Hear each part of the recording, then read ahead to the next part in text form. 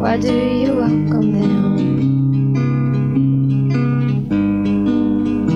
If every angel's terrible, then why do you welcome them? If every angel's terrible, then why do you welcome them? You said, You'll provide the bird bath if I provide the skin now. Bathe on in the moonlight, I'm to tremble like a kitten.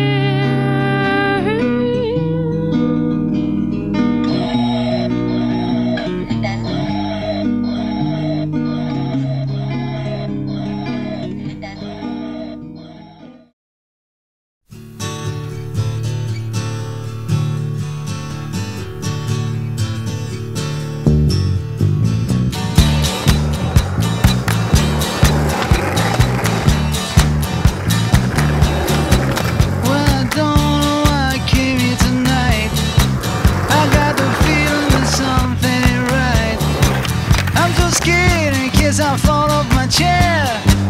And I'm wondering how I'll get down the stairs. Clowns to the left.